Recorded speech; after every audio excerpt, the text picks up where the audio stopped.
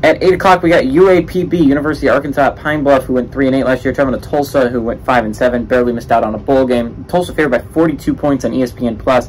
Davis Brin, who's an underrated quarterback in the American, went 148 to 250, threw for 2,138 yards and 17 touchdowns to 8 interceptions. Deneric Prince on the ground had 126 carries, 729 yards and 5 touchdowns, and if they want to win, the Golden Hurricane want to win more this year, they got to get more production off the ground game.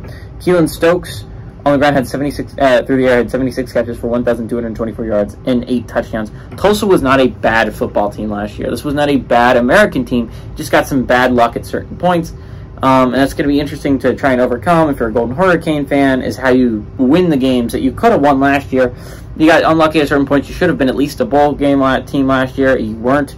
Um, this is a decent Tulsa Hurricane team. This is a this is a great chance to tune up. Like I was saying earlier with South Dakota, Missouri, UAPB should give Tulsa absolutely no trouble. This was a bad FCS team last year. University of Arkansas Pine Bluff is not a good football team. They did not get better.